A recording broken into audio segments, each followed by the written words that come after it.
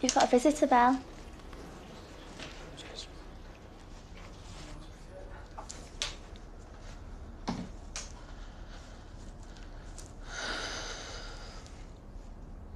I'd have brought flowers or grapes or something, but I didn't really know the score, so.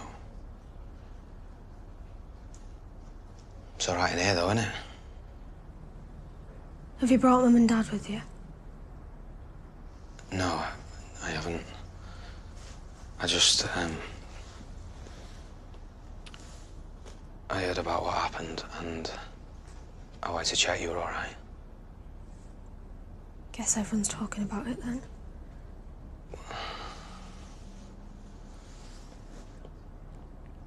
Look, I know what it feels like to have someone's death on your conscience. Jackson was different. He wanted to go.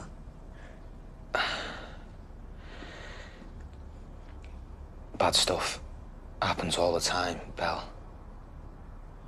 And nobody's in charge of any of it.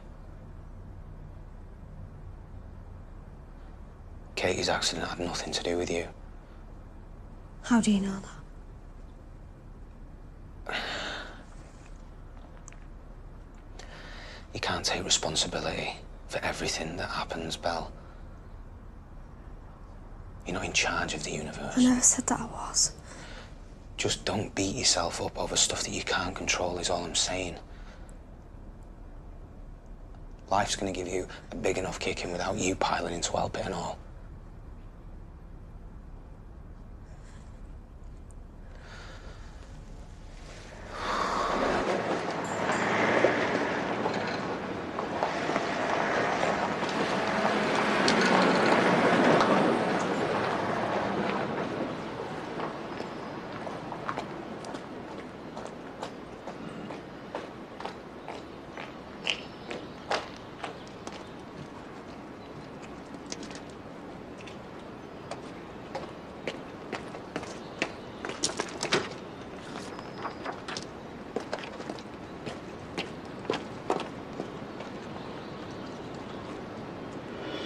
Hope you've got some decent insurance. I'm telling you now. Yeah, of course we have.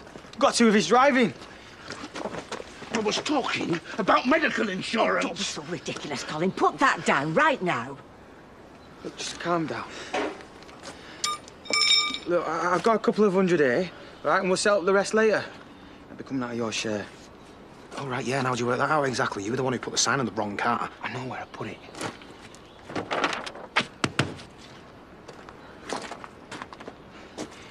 Yeah, well, maybe if you're here when you're supposed to be, there won't be any room for confusion, would there? Oh, yeah, of course, because it's all still my fault, innit? Never mind whose fault it is. Who's paying for my car?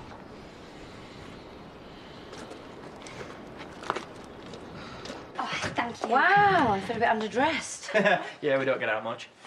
Oh, we'll go through Robert's in there. You'll have to excuse the mess. Oh, oh no, you should see the state of our place. I mean, this this is like a show on This.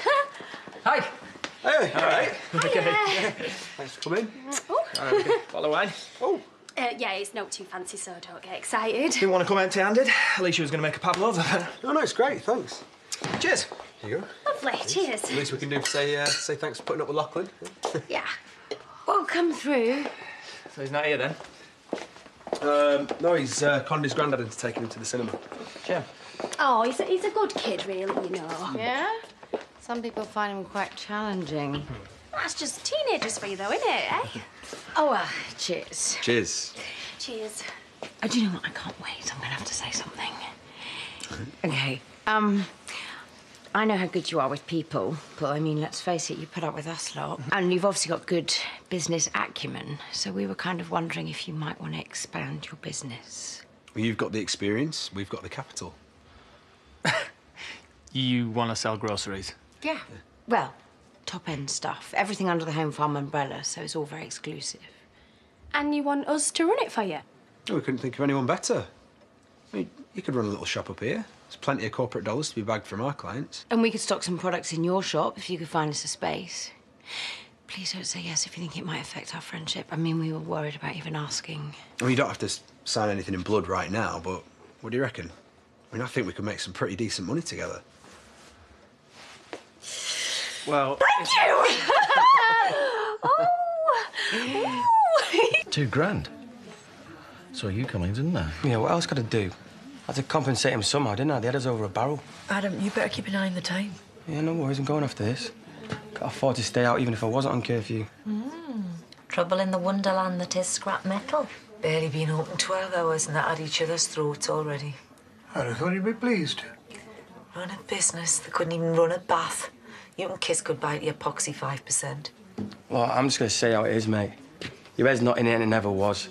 I've invested everything that I had in that yard, and I honestly thought that I could rely on you. Also, what? I've never done anything for you now. Oh, here we go again. What are you gonna do? Chuck that in my face every time we have a row? Listen, Adam, I didn't sign up to be your nanny. If you can't manage on your own for five minutes, then we've got a real problem, haven't we? So come on then.